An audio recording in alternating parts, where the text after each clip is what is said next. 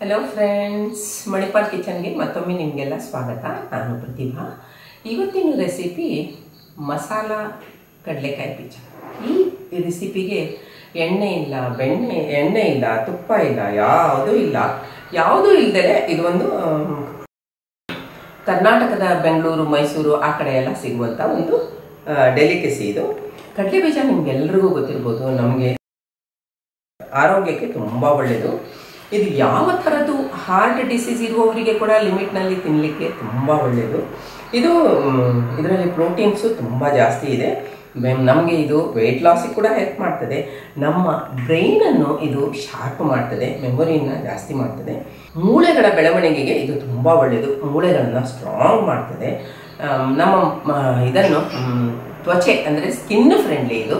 ತ್ವಚೆಯನ್ನು ಹೊಳೆಯುವಾಗೆ ಮಾಡ್ತದೆ. ಮತ್ತು ಇದರ, ನಮ್ಮ ಕಣ್ಣಿನ ದೃಷ್ಟಿಯನ್ನು ಇಂಪ್ರೂವ್ ಮಾಡ್ತದೆ. ಹಾಗೆ ಕ್ಯಾನ್ಸರ್ ರಿಸ್ಕನ್ನು ರೆಡ್ಯೂಸ್ ಮಾಡ್ತದೆ. ಈ ಕಡಲೆಕಾಯಿ ಬೀಜದಲ್ಲಿ ವಿಶೇಷ ಏನಂದರೆ ಇದಕ್ಕೆ ತುಪ್ಪ, ಎಣ್ಣೆ ಏನೂ ಇಲ್ಲ. ಖಾಲಿ ಮಸಾಲೆ ಹಚ್ಚಿಬಿಟ್ಟು ಹುರಿದು ಮಾಡುವಂಥದ್ದು. ಇದನ್ನು ಹುರಿಬೇಕಾದ್ರೆ ಲೋ ಫ್ಲೇಮಲ್ಲಿ ಇಟ್ಬಿಟ್ಟೆ ಹುರಿಬೇಕು. ಮತ್ತೆ ಆಮೇಲೆ ಮಸಾಲೆ ಹಚ್ಚಿದ ಮೇಲೆ ಕೂಡ ಇದನ್ನ ಲೋ ಫ್ಲೇಮಲ್ಲೇ ಇಟ್ಬಿಟ್ಟು ಹುರಿಬೇಕು. ಅದೇ ಇದ್ರದ್ದು ವೈಶಿಷ್ಟ್ಯತೆ ಆವಾಗ ಮಾತ್ರ ಇದು ಒಳಗೆ ತನಕ ಹುರಿದುಬಿಟ್ಟು ರೆಸಿಪಿ ತುಂಬ ಚೆನ್ನಾಗಾಗುತ್ತೆ. ಕಡಲೆಕಾಯಿ ಬೀಜನ ಬಡವರ ಬಾದಾಮಿ ಅಂತ ಕರೀತಾರಲ್ವಾ? ಕಡಲೆಕಾಯಿ ಬೀಜನ ಹುರಿದುಬಿಟ್ಟು ಬೇಯಿಸ್ಬಿಟ್ಟು ಅಥವಾ ಬೇಯಿಸ್ಬಿಟ್ಟು ತಿಂದರೆ ನಮ್ಮ ಆರೋಗ್ಯಕ್ಕೆ ತುಂಬ ಒಳ್ಳೆಯದು ಎಣ್ಣೆಯಲ್ಲಿ ಹುರಿದುಬಿಟ್ಟು ತಿನ್ನೋದಕ್ಕಿಂತ ಖಾಲಿ ಡ್ರೈಯಾಗಿ ಹುರಿದುಬಿಟ್ಟು ತಿನ್ನೋದು ತುಂಬ ಒಳ್ಳೆಯದು ಇನ್ನೊಂದು ವಿಶೇಷ ಹೇಳ್ತೀನಿ ಫ್ರೆಂಡ್ಸ್ ನಾನು ಬೆಂಗಳೂರಲ್ಲಿ ಕರ್ತಿದ್ದು ಇದು ಒಂದು ಐವತ್ತು ವರ್ಷದ ಹಿಂದಿನ ವಿಷಯ. ನಾನು ಸ್ಕೂಲಿಂದ ಬರಬೇಕಾದ್ರೆ ಬಸ್ಸಿಂದ ಇಳಿದು ಬರಲಿಕ್ಕೆ ಮೂರು ನಿಮಿಷ, ನಾಲ್ಕು ನಿಮಿಷ ಆಗ್ತಿತ್ತು. ಆವಾಗಲೇ ಚಿಕ್ಕ ಚಿಕ್ಕ ಅಂಗಡಿಗಳು ಇರ್ತಾ ಇದ್ವು. ಅಲ್ಲಿ ಇದೇ ಕಡಲೆಕಾಯಿ ಬೀಜನ ನೋಡಿ ಇದರಲ್ಲಿ ಹತ್ತು ಪೈಸಕ್ಕೆ ಕೊಡ್ತಿದ್ದಳು. ಈಗ ಬಿಡಿ, ಹತ್ತು ಪೈಸಾ ಸರ್ಕ್ಯುಲೇಷನ್ನಲ್ಲೇ ಇಲ್ಲ. ಆದರೆ ಹೇಳಿದ್ದು, ಅದೆಲ್ಲ ಒಂದು ಹಿಂದಿಂದು ನೆನಪಿದೆ ಅಲ್ಲ ಅಂಗಡಿಯಲ್ಲಿ ಬರಬೇಕಾದ್ರೆ ಕೆಂಪು ಮಸಾಲೆದು ಮತ್ತು ಹಸಿರು ಮಸಾಲೆದು. ಎರಡೂ ಕಡಲೆಕಾಯಿ ಬೀಜ ಪಕ್ಕ ಪಕ್ಕದಲ್ಲೇ ಬಾಟ್ಲಿಲಿ ಇರ್ತಾ ಇತ್ತು. ನಾವು ಕೇಳಿಬಿಟ್ಟು, ತಿನ್ಬಿಟ್ಟು, ಹಂಚ್ಕೊಂಡು, ತಿನ್ಕೊಂಡು ಮನೆಗೆ ಬರ್ತಾ ಇದ್ವಿ. ಅದೆಲ್ಲ ಜ್ಞಾಪಕ ಮಾಡಿಕೊಂಡು ಈ ರೆಸಿಪಿನ ಹಾಕ್ತಾ ಇದ್ದೀನಿ. ಈ ರೆಸಿಪಿನ ನಾನು ಧಾರವಾಡದಲ್ಲಿ ನನ್ನ ಫ್ರೆಂಡ್ ಹತ್ರ ಕಲಿತೆ. ಇದನ್ನು ಇವತ್ತು ಪೋಸ್ಟ್ ಮಾಡ್ತಾ ಇದ್ದೀನಿ. ಎಲ್ಲರಿಗೆ ನಮಸ್ಕಾರ. ಇವತ್ತು ನಾನು ನಿಮಗೆ ಮಸಾಲ ಕಡಲೆಕಾಯಿ ಬೀಜ ರೆಸಿಪಿನ ತೊಗೊಂಡು ಬಂದಿದ್ದೀನಿ. ನನ್ನ ಚಾನಲ್ಗೆ ಎಷ್ಟು ದಿವಸ ಸಬ್ಸ್ಕ್ರೈಬ್ ಮಾಡದೇ ಇದ್ದರೆ ದಯಮಾಡಿ ಸಬ್ಸ್ಕ್ರೈಬ್ ಮಾಡಿ ಫ್ರೆಂಡ್ಸ್ ಸಪೋರ್ಟ್ ಮಾಡಿ. ಬೆಲ್ಲೈಕಾನ್ನ ಪ್ರೆಸ್ ಮಾಡೋದಂತೂ ಮರಿದೇಬೇಡಿ ಆವಾಗ ನಾನು ಹಾಕಿರುವಂತಹ ರೆಸಿಪಿದು ನೋಟಿಫಿಕೇಷನ್ ನಿಮಗೆ ಮೊದಲು ಬರ್ತದೆ. ನೀವೇ ಮೊದಲು ಎಲ್ಲ ರೆಸಿಪಿಗಳನ್ನು ನೋಡ್ಬೋದು. ಈ ವಿಡಿಯೋನ ಮೊದಲಿಂದ ಕೊನೆ ತನಕ ನೋಡಿ ಫ್ರೆಂಡ್ಸ್ ಮತ್ತು ಸಪೋರ್ಟ್ ಮಾಡಿ. ಆವಾಗ ನಿಮಗೆ ರೆಸಿಪಿ ಹೇಗೆ ಮಾಡೋದು ಅಂತ ಕರೆಕ್ಟಾಗಿ ಗೊತ್ತಾಗುತ್ತೆ. ಏನೇನು ಬೇಕಂತ ನೋಡೋಣವಾ? ಈಗ ನೋಡಿ, ಅದಕ್ಕೆ ಇದು ಮಸಾಲೆ ಪದಾರ್ಥಗಳು. ಹಿಂಗು ಹಾಗೆ ಅರಿಶಿನ ಪುಡಿ, ಮತ್ತು ರುಚಿಗೆ ತಕ್ಕಷ್ಟು ಉಪ್ಪು, ಹಾಗೆ ಅಚ್ಚ ಖಾರದ ಪುಡಿ, ನಾನು ಮನೆಯಲ್ಲೇ ಮಾಡಿದ್ದದು ಮತ್ತು ಅಮ್ಚೂರು ಪೌಡ್ರು, ಅಂದರೆ ಮಾವಿನಕಾಯಿ ಪುಡಿ.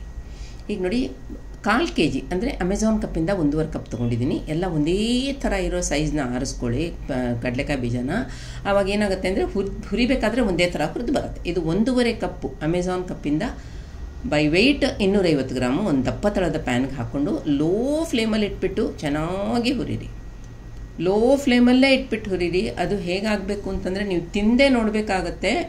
ಅದು ಹುರಿದಿದೆಯಾ? ಕರೆಕ್ಟಾಗಿ ಏನ್ಬಿಟ್ಟು ಅದು ಸಿಪ್ಪೆನೂ ಕಲರ್ ಚೇಂಜ್ ಆಗಬಾರ್ದು, ಕಡಲೆಕಾಯಿ ಬೀಜದ್ದು ಕಲರ್ ಚೇಂಜ್ ಆಗಬಾರ್ದು, ಆದರೆ ಚೆಂದಾಗಿ ಹುರಿದಿರಬೇಕು. ಅಷ್ಟೇ ಇದರದ್ದು ಫಂಡ. ಹ್ಞೂ ನೋಡಿ ಇವಾಗ ಇದನ್ನು ಕಂಪ್ಲೀಟಾಗಿ ಕೂಲ್ ಆಗ್ಲಿಕ್ಕೆ ಬಿಡಬೇಕು. ಇದು ನಾರ್ಮಲ್ ಟೆಂಪ್ರೇಚರಿಗೆ ಬರಬೇಕು. ರೂಮ್ ಟೆಂಪ್ರೇಚರ್ಗೆ ಸ್ವಲ್ಪನೂ ಬೆಚ್ಚಗೂ ಇರಬಾರ್ದು. ಅಷ್ಟು ಚೆನ್ನಾಗಿ ತಣ್ಣಗಾಗಬೇಕು ಈಗ ಮಸಾಲೆ ತಯಾರು ಮಾಡೋಣ. ನಾನಿದು ಎರಡು ಟೀ ಸ್ಪೂನು ಅಚ್ಚ ಖಾರದ ಪುಡಿ, ನಾನು ಬ್ಯಾಡಗಿ ಮೆಣಸಿನ್ಕಾಯಿ ಪುಡಿ ಮನೆಯಲ್ಲೇ ಮಾಡಿರೋದು ಹಾಕಿದ್ದೀನಿ. ಹಾಗೆ ಎರಡು ಪಿಂಚು, ಎರಡು ಚಿಟಕಿ ಅರಿಶಿನ ಹಾಕಿ ಅದಕ್ಕೆ. ಹಾಗೆ ಎರಡು ಚಿಟಕಿ ಹಿಂಗ್ ಪೌಡ್ರ್ ಹಾಕಿ. One fifth teaspoon amchur powder, ಅಂದರೆ ಮಾವಿನ ಪುಡಿ ಮಾವಿನಕಾಯಿ ಪುಡಿ ಅಂತ ಹೇಳ್ತಾರಲ್ಲ, ಅದು ಅದು ಬೆ, ನಿಮ್ಗೆ ಹಾಕೋಕ್ಕೆ ಇಷ್ಟ ಇಲ್ಲದಿದ್ರೆ ನೀವು ಗರಂ ಮಸಾಲ ಪೌಡ್ರ್ ಹಾಕ್ಬೋದು. ಮತ್ತು ಒಂದೂವರೆ ಟೀ ಸ್ಪೂನು ಸಾಲ್ಟ್ ಪುಡಿ ಉಪ್ಪು. ಇಷ್ಟನ್ನು ಒಂದು ಬೌಲ್ಗೆ ಹಾಕ್ಕೊಂಡು ಒಣ ಇಂಗ್ರೀಡಿಯೆಂಟ್ಸ್ ಎಲ್ಲ ಚೆನ್ನಾಗಿ ಸ್ಪೂನಿಂದ ಮಿಕ್ಸ್ ಮಾಡ್ಕೊಳ್ಳಿ ಒಂದ್ಸತಿ.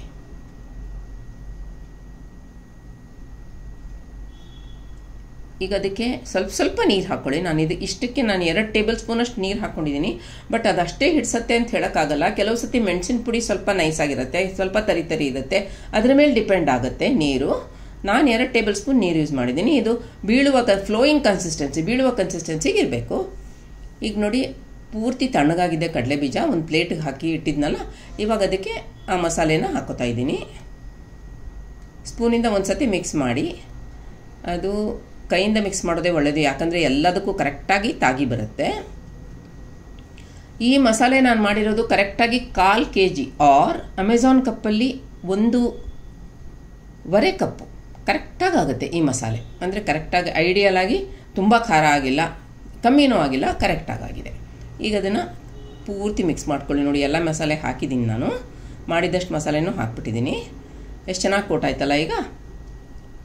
ಇವಾಗ ಮತ್ತೆ ಇದನ್ನು ದಪ್ಪ ತಳದ ಪ್ಯಾನ್ಗೆ ಹಾಕ್ಕೋಬೇಕು. ದಪ್ಪ ತಳದ ಪ್ಯಾನ್ ಪ್ರಿಫರಬಲಿ ಇಡಿ. ಈಗ ಹಾಕ್ಕೊಳ್ಳಿ. ಮತ್ತು ಪೂರ್ತಿ ಹಾಕ್ಕೊಂಡಾದ್ಮೇಲೆ ಗ್ಯಾಸ್ ಹಚ್ಚಿ.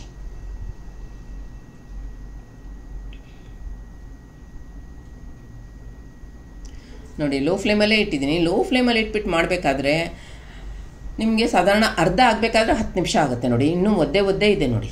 ಸಿಪ್ಪೆ ಎಲ್ಲ ಹಾಗಾಗಿ ಒಂಥರ ಇದೆ ನೋಡಿ. ಇವಾಗ ನೋಡಿ ಮಸಾಲ ಕೊಟ್ಟಾಯಿತು, ಒಣಗ್ತಾ ಬಂದ್ಬಿಡ್ತಲ್ವ ಇದು ನಿಮಗೆ ಸಾಧ್ಯವಾದರೆ ಬಿಸಿಲು ಜಾಸ್ತಿ ಇದ್ದರೆ ಹೀಗೆ ಹುರಿಲಿಕ್ಕೆ ಇಷ್ಟ ಇಲ್ಲ ಅಂತಂದರೆ ನೀವು ಒಂದು ಎರಡು ಗಂಟೆ ಬಿಸಿಲಲ್ಲಿ ಒಣಗಿಸ್ಬಿಟ್ರೂ ಆಗೋಯ್ತು. ಚೆನ್ನಾಗಿ ಒಣಗಿಬಿಡುತ್ತೆ. ಅದೇ ಪ್ಲೇಟಲ್ಲಿ ಹಾಕ್ಬಿಟ್ಟು ಒಣಗಿಸ್ಬಿಟ್ರೆ ಆಗೋಯ್ತು. ಇವಾಗ ರೆಡಿ ಆಯಿತು. ಅಡಿಯಲ್ಲಿ ಪೌಡ್ರ್ ಬಿಡುತ್ತೆ ಸ್ವಲ್ಪ. ಆ ಪೌಡ್ರ್ ಬಿಟ್ಟಿರೋದೇ ಪ್ರೂಫು ಇದಾಗಿದೆ ಅಂತಂದ್ಬಿಟ್ಟು ಇವಾಗ ರೆಡಿ ಆಯಿತು. ಫ್ರೆಂಡ್ಸ್ ವಿಡಿಯೋನ ಮೊದಲಿಂದ ಕೊನೆ ತನಕ ನೋಡಿ, ಇದು ಪೌಡ್ರ್ ಬಿಟ್ಟಿರೋದೇ ಗೊತ್ತಾಗೋದು ನಮಗೆ, ಇದು ಚೆನ್ನಾಗಿ ಕೋಟ್ ಆಗಿದೆ, ಮತ್ತು ಕರೆಕ್ಟಾಗಿ ಕ್ರಿಸ್ಪಿಯಾಗಿ ಬಂದಿದೆ ಅಂತ ಅಂದ್ಬಿಟ್ಟು ನೋಡಿ, ಕೈಯಲ್ಲಿ ಎಡ್ಬಿಟ್ಟು ತೋರಿಸ್ತಾ ಇದ್ದೀನಿ. ಬೀಜಗಳನ್ನು ಒಳ್ಳೊಳ್ಳೆ ರೆಸಿಪಿ ಜೊತೆ ಬರ್ತೇನೆ. ನನ್ನ ಚಾನಲ್ಗೆ ದಯಮಾಡಿ ಸಬ್ಸ್ಕ್ರೈಬ್ ಮಾಡಿ, ಈ ಲಿಂಕ್ನ ನಿಮ್ಮ ಫ್ರೆಂಡ್ಸ್ ಜೊತೆ ರಿಲೇಟಿವ್ಸ್ ಜೊತೆ ಶೇರ್ ಮಾಡಿ, ಎಲ್ಲರಿಗೆ ನಮಸ್ಕಾರ.